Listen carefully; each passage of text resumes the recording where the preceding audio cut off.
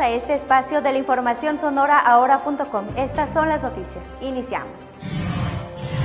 El atleta sonorense Luis Rivera conquistó medalla de oro en salto de longitud de la Universidad Mundial Kazán 2013. Además de lograr la primera de oro para la delegación mexicana, el sonorense logró la mejor marca de 8.46 metros e implantó nuevo récord. En Bahía de Quino, la policía detuvo a Francisco Jiménez Arechiga, de 24 años, de oficio policía buscado en el Estado de México por abusar sexualmente de una menor de 15 años y donde perdió la vida el novio de esta de 16 años, el 22 de febrero del 2013 en Chimalhuacán. Cuando los padres de la menor solicitaron a la policía el apoyo, entre los elementos que atendieron el llamado, la menor reconoció a su atacante uniformado. Se hicieron los disparos y murió el novio.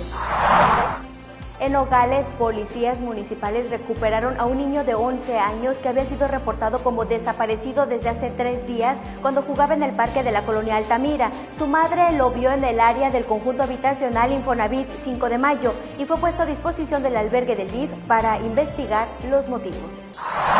El procurador de Sonora, Carlos Navarro, ordenó una investigación a fondo en el caso de las tres personas que fallecieron el fin de semana en la carretera Hermosillo Bahía de Quino, con el propósito de deslindar responsabilidades en la tardanza de algunas diligencias, pues nadie ha dado respuesta de los exámenes para determinar si el conductor Víctor Torres Pacheco, de 28 años, circulaba en estado de ebriedad.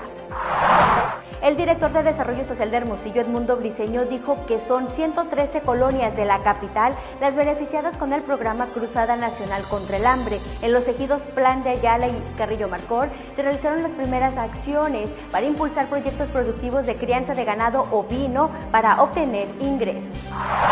El gobernador Guillermo Padres entregó al municipio de Hermosillo como parte del programa Todo Pavimentado 61 millones 155 mil pesos. El alcalde Alejandro López Caballero agradeció el apoyo. El bloqueo carretero en Bicam, al sur de Sonora, ha impactado en el interés de dos empresas maquiladoras de instalarse en Ciudad Obregón, dijo el secretario de Economía Moisés Gómez Reina. Esperan una solución.